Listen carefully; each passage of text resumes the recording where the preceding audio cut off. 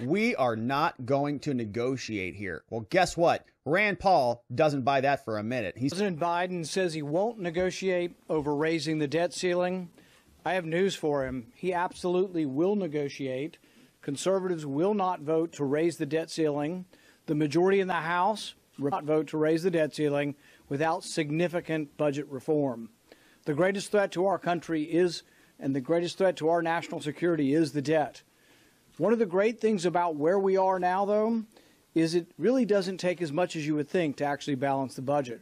If we were to have a $100 billion cut, which would still have us spending way more than we spent before COVID, a $100 billion cut in free spending, we would balance our budget in just four years. four years. President Biden needs to know absolutely he will negotiate, Ooh. and it's better to start now. Yeah, buddy boy Biden, you better get ready for some negotiation.